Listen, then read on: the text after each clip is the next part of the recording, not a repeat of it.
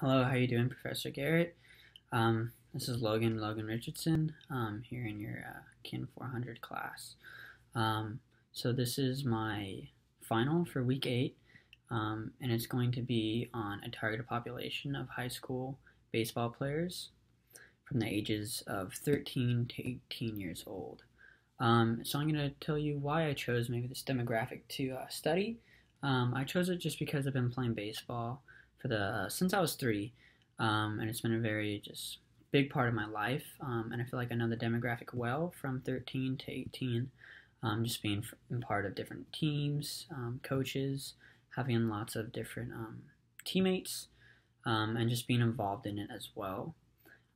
so I'm gonna go ahead and start, and I'm gonna talk about how the physical environment, social environment, and family uh, culture can influence you in areas like motivation, stress, anxiety, um, and the need for feedback as an individual athlete.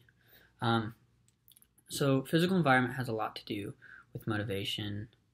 Um, you, I submitted a, a paper a while back, um, and you talked to me how a field, the equipment, the school, the atmosphere um, in general, just has a toll on the athlete as a um, physically. Um, and I could really relate to that, seeing how like if you go out onto the field and you have a whole bunch of potholes or the mound isn't clean, um, and there's just holes everywhere, like that motivation of an athlete is going to go down. Like you're not going to want to play, you're not going to want to be involved. Um, as well as just like if the school just has a bad rep with the team, um, just the atmosphere is very negative, it could really kill the physical environment um, um, and just motivation overall. Um, you could lose motivation easily from the physical um, parts of the game that way, and it just it wouldn't it wouldn't work well.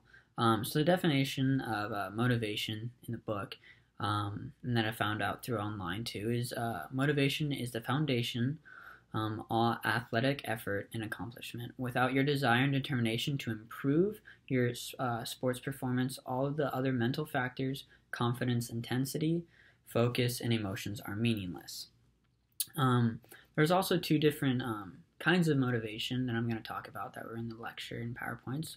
Um, there was intrinsic motivation, um, and that's more like personal. It's more doing it for yourself. Um, it's rewarding. You do it because you like it, um, you enjoy it. as well as there's also the intrinsic side, and you want it. You do enjoy it too, but it's more for competing. You want a reward. You're getting something out of it. maybe. Uh, a trophy, um, a good grade, that kind of thing. Um, on the other hand, motivation is is easily seen through social environment and family culture as well. Um, maybe even more dependent on uh, the physical environment as well. Um, so motivation can seem through like your family and all that. Um, your families obviously can give you motivation, um, as well as social environment. Your friends they have a big impact on you as an individual. Social motivation comes from peers, peoples um, you surround yourself with, your community. Um, they're always there to pick you up when you are feeling down. That's what I loved about my family is that every time I had a bad game or they, just, they could tell that I was out of it, they would always be there to pick me up, as well as my teammates, and that has to do with being on a good team as well. Um, at the same time, there could be a form of external motivation that could be a negative influence on you. Um, so, for instance, like if the dad played football um, so this would be more like family culture. If like the dad played football and his dad played football, and you kind of feel forced into playing football, that motivation isn't necessarily going to be good for him if he doesn't want to. And you might end up being pulled into it and playing it for a certain amount of time. Um, so yeah, in the end, it's important to have positive motivation reinforcement. That's also talked about in lecture.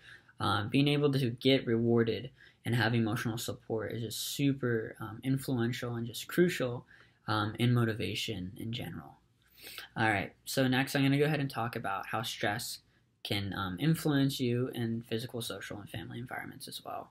Um, so, the definition of stress stress is the state in which is seen in response to internal and external stressors. Stress brings mental and physical disturbances in living beings. Stress may eliminate, sorry, excuse me, uh, emulate itself as either physical um, or mental stress.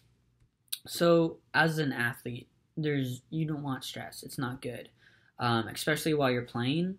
it's not good to have. Um, it's going to get inside your head. You're to be worried about other things. Like if you have, if you're stressing out about like a test the next week or the next day, that's not going to be helpful. You kind of got to put it aside, leave everything in the dugout, outside the field. Um, too much stress and arousal in a game can cause decrease in your performance as well. Um, there's actually backed up uh, stats on that as well. Like if you're stressed, you're not going to perform well. Um, families can give you reasons why you shouldn't be playing sports, which can give you stress. Um, this wasn't so much for me, maybe in football. Um, I didn't really play football, but my mom didn't want me to play football because she didn't want me to get injured.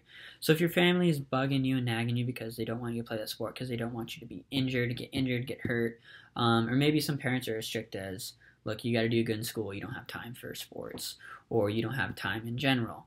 Um, they're just kind of being unfair for you while you're on a team or while you're even trying to play sports. That can give you stress as well, and you might not want to um, play in general. Um, so I have a quote from uh, Danielle Braff, um, and I'll include the uh, citations down at the end um, in my PowerPoint or my uh, just my kind of outline.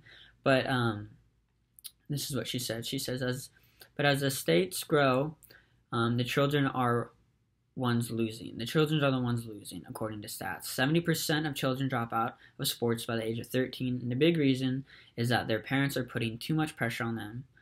Um, he explained.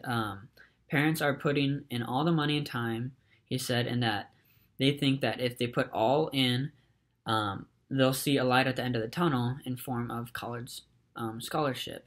There's no balance between encouraging a child's athletic abilities and stressing him or her out by becoming a second coach. Um, my dad personally stepped out of the picture because I would get mad at him for trying to coach me, and so that ended up working well. I would just listen to my coaches. Um, but lots of families do try to get involved to try to get them to get scholarship, and it just it can kind of turn into a mess if it's not done correctly. That's why he said there's kind of like that balance between um, that you really gotta kind of be careful for.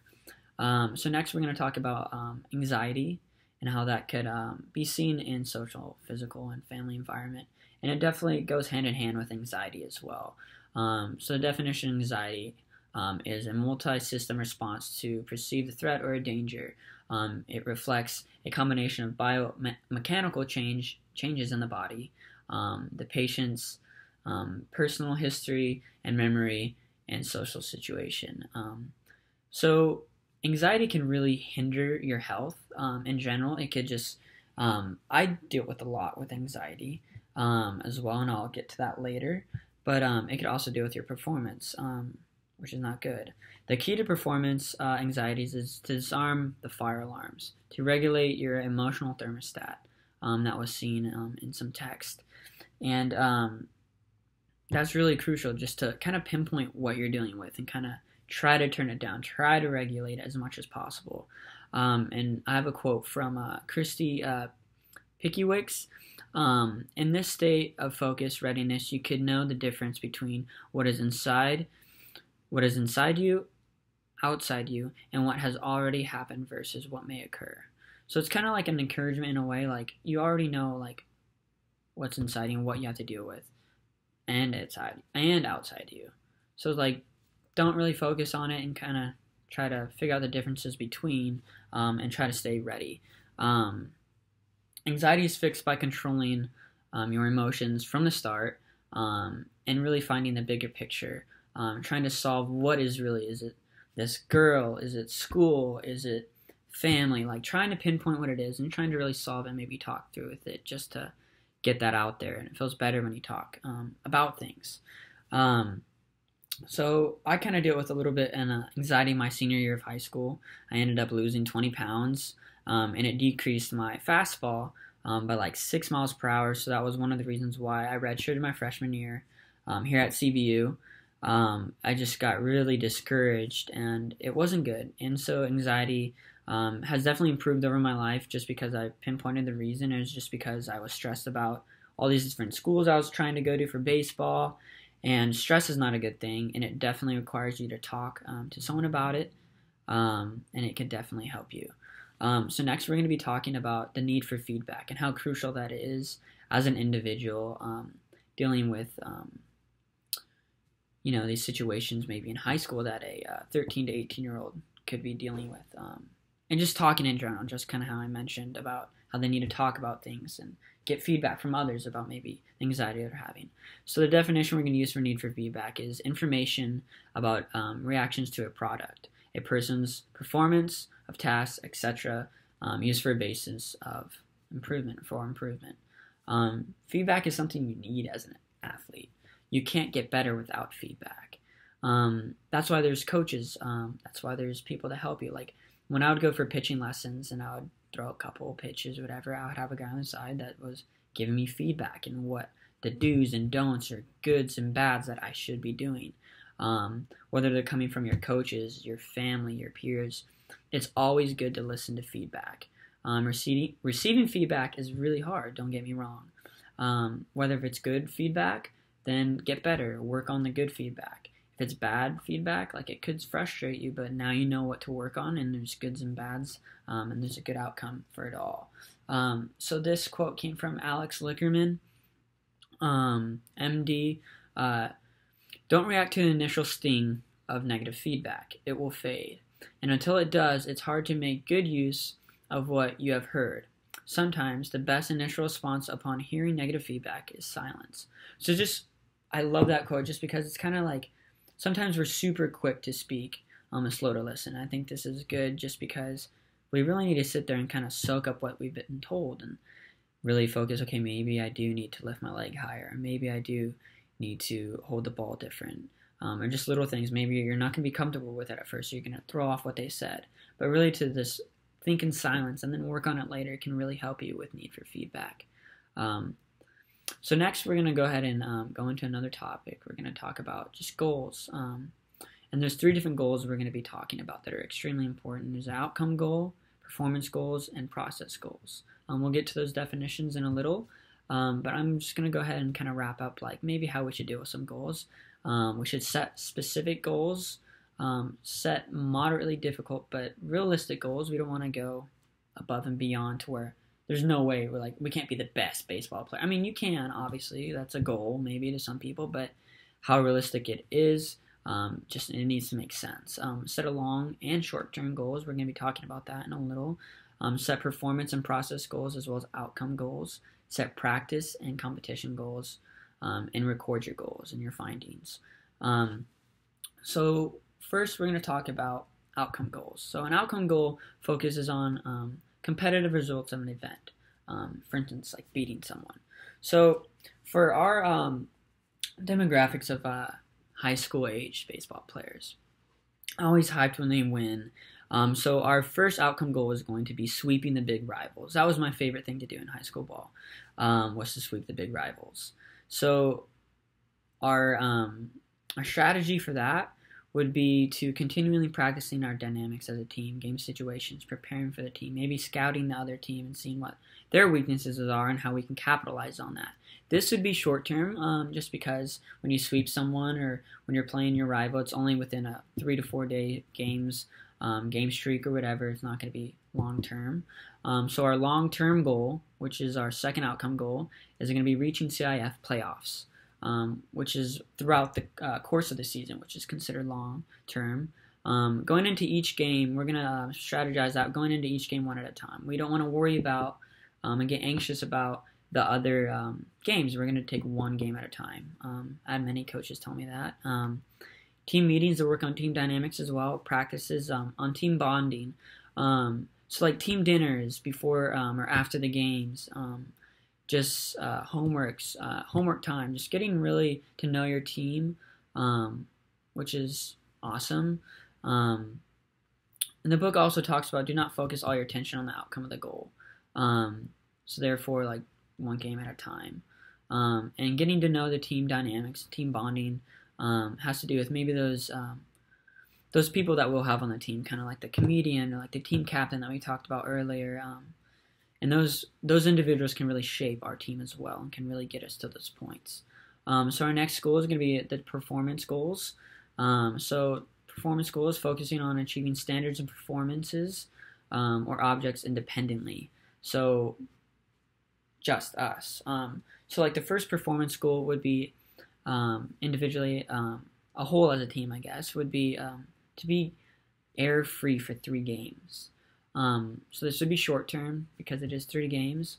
The strategy we would do is to um, just have lots of repetition, um, ground balls, fly balls, pitches, swinging the bat. Obviously, there's not really any errors in offense, but defense there'd be lots of repetition um, to get us going through the motions um, and kind of visualizing, maybe some visualization as well um, to really set the pace for trying to be air free for three games. Um, so our long term would be um, for a high school uh, baseball player um, to lower his uh, ERA from let's say like 4.2 to 2.2 or whatever, lowering that. like again, the strategy would be to be very just have lots of repetition, um, throwing lots of pitches. You're going to want to be throwing long toss, working on bands. Um, every day it's going to be really hard um, to stay with it. Um, so you're just going to have to work hard um, and get through that. Um, improving game situations as well, and location, having someone stand in for you, just really getting you ready for that. so next goal we're going to be talking about is the the process goals and what these are. Um, so, focusing on uh, actions an individual must engage in during performance to execute or perform well. Um, so, our first process goal for um, the high school players would be to increase the velocities, um, the velocity of a pitcher.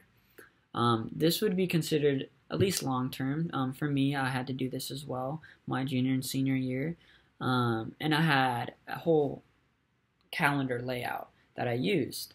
Um, and so our strategy would be to simply strengthen the arm speed and the arm and the muscles around it. So we'd be using bands every day before we throw. We'd be working on long toss, flat grounds, bullpens, um, a certain amount of throws, using towel drills and different weighted balls to get your uh, your arm stronger through the motion. Um, and that overall would be a good strategy for, um, or even something that we could do as a team or for um, the whole team just to strengthen their arm.